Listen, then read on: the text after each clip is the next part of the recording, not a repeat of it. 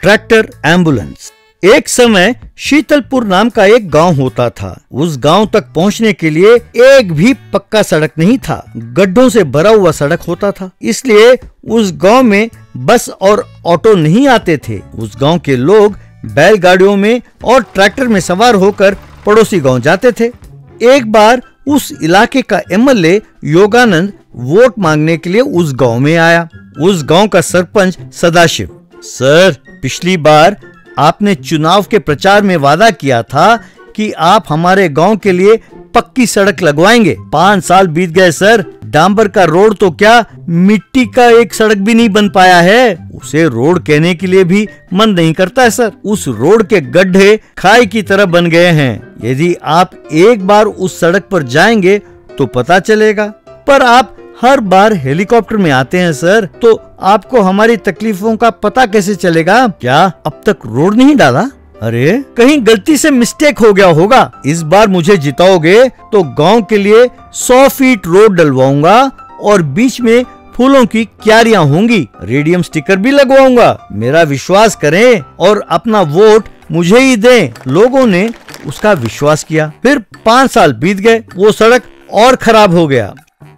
चुनाव का समय आया तो योगानंद फिर उस गाँव के पास आया। फिर से भाषण शुरू किया। मेरे प्यारे शीतलपुरा वासियों, मैं जानता हूँ कि आप पूछेंगे कि हमारे गाँव के लिए सड़क क्यों नहीं बनवाया। उसका एक कारण है, मैं सोच रहा हूँ कि आपके गाँव के लिए रेलवे स्टेशन और एयरपोर्ट सैंक्शन करवाऊं और इसके लिए मैं असेंबली में बिल प्रवेश कर रहा हूँ। इसीलिए इस बार मुझे जिताएँगे तो आप मज़े से विमानों में और बुलेट ट्रेनों में घूम सकते हैं। लोगों ने उसे गुस्से से देखा। बाद में योगानंद गली में सबको प्रणाम करता हुआ जा रहा था। तभी एक लड़के ने केला खाकर छिलके को सड़क पर फेंका। योगानंद ने उस पर पैर रखा तो फिसल कर सीधा सरकते हुए जाग गिरा। हाय मेरी कमर टूट गई। कहकर चिल्लाया। सरपंच उसे उठाने के लिए बढ़ा। हाय रे, मेरी कमर टूट गई है, मैं उठ नहीं सकता। तुरंत डॉक्टर को बुलवाओ। डॉक्टर, क्या बात कर रहे हैं सर आप? उस रोड की मेहरबानी से हमारे गाँव में डॉक्टर, लॉयर, आखिरकार कारपेंटर भी नहीं आते हैं, सर। तो किसी तरह मुझे हेलीकॉप्टर में चढ़ा दो भाई। मैं शहर जाकर डॉक्टर को दिखाऊँगा। तभी हेलीकॉप्टर का पायलट वहाँ आकर सर कोई हेलीकॉप्टर के ब्लेड्स ले गया है सर। उसे उड़ाना मुश्किल है। आए, अरे दर्द सहा नहीं जा रहा है भाई। अब मैं क्या करूँ? आप चिंता न करें सर। अभी एंबुलेंस को बुलवाता हूँ। हाँ हाँ ये ठीक होगा। हाँ भाई तुम्हारा भला हो। तभी एक ट्रैक्टर वहाँ आई। ये क्या ट्रैक्टर क्यों बुलवाया?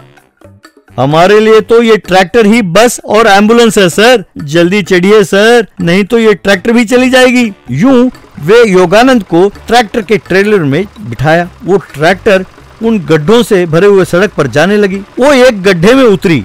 योगानंद हवा में उछला। फिर ट्रेलर में गिरा। हाय मेरी बाई टांग टूट गई! कहकर चिल्लाया। ये तो छोटा गड्ढा है, सर। आगे बड़े बड़े गड्ढे बहुत हैं। आप टाउन पहुँचने तक जरा सब्र करें, सर। योगानंद परेशान हो गया।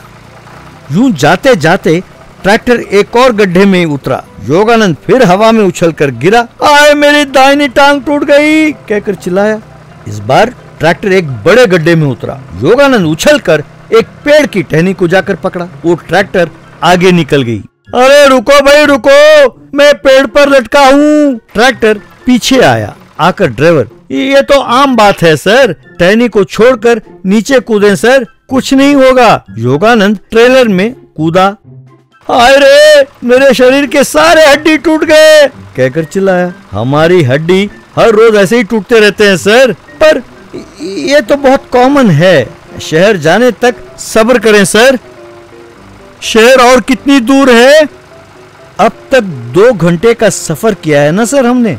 आ, हम आधा किलोमीटर तय कर चुके हैं। अब और साढ़े उनतीस किलोमीटर तय करना बाकी है सर बस। योगानंद का सिर चकरा गया। यूँ योगानंद ट्रैक्टर में उछलते हुए गया। वे उस दिन शाम को अस्पताल पहुँचे। डॉक्टर ने योगानंद के सारे शरीर पर पट्टी बांधा। उसकी पत्नी से सर के सारे बदन में फ्रैक्चर हो गया है। शक्ल भी चूर चूर हो गया है। प्लास्टिक सर्जरी करना पड़ा। इसीलिए उनका चेहरा भी बदल गया है। योगानंद परेशान हो गया। वैसे बिल कितना हुआ है डॉक्टर साहब? बीस लाख हो गया है मैडम। वो योगानंद से देखा? दो लाख देकर उस गाँव के सड़क बनवा देते तो आज बीस लाख खर्च करने की ज़रूरत नहीं पड़ती अपने आप पर। ऊपर से अब आपका चेहरा भी बदल चुका है। अब वोट मांगने जाओगे तो लोग आपको पहचानेंगे भी नहीं। अब आपका पॉलिटिकल करियर तो समझो खत्म ही हो गया। योगानंद बेहोश हो गया। शीतलपुरा गाँव वालों ने दूसरे एमएलए को जिताया तो तुरंत उस गाँव के लिए सड़क बना और वे सब खुश हो गए। च्यूंगम भास्कर और भारती की शादी हो रही थी। ओ जी वो अधगंजे आदमी को देखा? कितना कॉमेडी लग रहा है। और उसे देखो कितने जेवर पहन कर आई है। किससे पता ओरिजिनल है या नकली। वैसे हनीमून कहाँ प्लान किया है जी? हनीमून के लिए यूँ कुछ कहने वाला था कि भारती हाँ हनीमून से याद आया जी। मेरी दोस्त और उसका पति हनीमून के लिए स्विट्जरलैंड गए थे। वो बोली कि वहाँ पूरे शहर में सिर्फ़ बैंक ही बैंक है। सुना है जी कि हमारा पूरा ब्लैक मनी वहीं छिपाते हैं। और पता है हर जगह सिर्फ़ बर्फ़ ही बर्फ़ है। यूँ बात कर ही जा रही थी। ये क्या? ससुर जी ने तो कहा था कि ये बेटी बहुत भोली है और बात करना ठीक से नहीं जानती। और ये तो क्रिकेट कमेंटेटर की तरह बड़बड़ाई जा रही है। कुछ दिनों बाद वे दोनों सिनेमा देखने गए। ओ जी बेचारे उस मुकेश को डॉक्टर बचा लेते तो कितना अच्छा होता ना जी? वो बहुत बड़ा स्टार बन जाता जहाँ पर भी जाता लोग उसे पहचान कर उसका ऑटोग्राफ लेते। गुटका कंपनी के लिए एड भी कर लेता बेचारा। हे भगवान ये फिर से शुरू हो गई। सोचा पिक्चर शुरू हुई। ये क्या जी पहले सीन में ही हीरो मर गया। ये ज़रूर सपना ही होगा।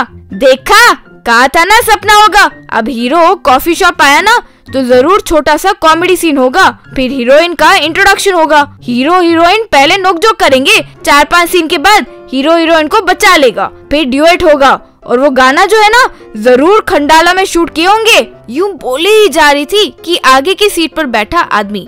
अरे बस भी करो आपकी ये रनिंग कमेंट्री पूरा पिक्चर अगर आप यूँ ही बोलती रही तो हम क्या देखेंगे? क्यों भाई? रोको अपनी पत्नी को। हम्म जब से इससे मेरी शादी हुई है, मैं तो भाषा तक भूलकर बात करना भी छोड़ चुका हूँ, सर। भारती, पूरी पिक्चर में वैसे ही बात करने की वजह से अगल बगल वाले लोग बीच पिक्चर में ही घर लौट गए। भास्कर, कान में रुई डालकर मुँह की पिक्चर देखा। भास्कर ने सोचा कि अगर भारती को मेडिटेशन क्लास ले जाएगा तो उसके बदलने की संभावना है, और वो उसे मेडिटेशन क्लास ले गया। वहाँ सारे लोग चुपचाप ध्यान कर रहे थे। भारती मेडिटेशन मास्टर से। मास्टर जी आँख बंद करने से कुछ कुछ ख्याल दिमाग में आ रहे हैं। आँखें खोलकर ध्यान करूँ क्या? नहीं बेटी ख्यालों को रोको मत आने दो। कुछ समय बाद वे अपने आप गायब होकर दिमाग शांत हो जाएगा। नहीं गुरुजी हो सकता है कि असेंबली में कभी शांति बन जाए लेकिन इसका दिमाग शांत कभी नहीं हो सकता। फिर सब ध्यान करने लगे। गुरुजी ध्यान करते वक्त सांस ज़ोर से लेना चाहिए या धीरे से? वो आपकी मर्ज़ी है। जैसे आप चाहो वैसे सांस लीजिए। भारती और बाकी सब फिर आँख बंद करके ध्यान करने लगे। गुरुजी आपका एक्सीडेंट होकर हाथ पैर टूट गए ऐसा ख्याल आया? क्या करूँ? कोई बात नहीं ख्याली तो है कुछ नहीं होगा। कुछ समय बाद भारती गुरुजी अब ये ख्याल आया कि आप मर गए। आपकी पत्नी और बच्चे अनाथ हो गए। और जिनसे आपने उधारी लिया वो आपके घर आकर आपकी चिता को अंतिम यात्रा करने से रोक रहे हैं। चलेगा?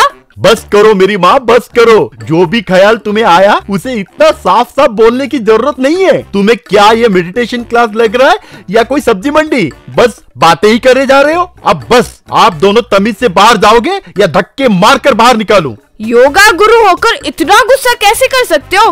ठीक है हम जा रहे हैं। कहकर वहाँ से दोनों निकल गए।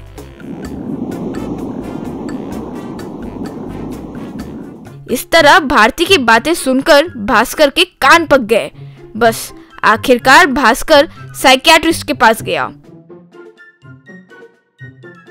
साइकियाट्रिस्ट भास्कर की कई बातों को सुनकर एक प्रिस्क्रिप्शन लिख कर दिया। भास्कर उस प्रिस्क्रिप्शन को देखकर, ये क्या, डॉक्टर जी? च्युइंगम हर आधे घंटे के लिए एक लिखा? हाँ भाई, तुम्हारी पत्नी बातुनी है तो वो हमेशा बात ही करना चाहती है। इसलिए उसके जबड़े हमेशा चलते ही रहना चाहिए। अगर उसे ये च्युइंगम दे दो तो उसका दिमाग बात करने के बजाय चबाने पर ध्यान देगा, और वो फिर कम बात करने लगेगी। फिर भास्कर भारती को च्विंगम की आदत दलवाया।